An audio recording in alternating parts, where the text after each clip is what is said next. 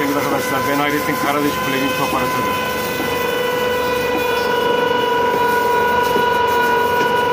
Şu an Ankara'dayız. Eskişehir yolunda.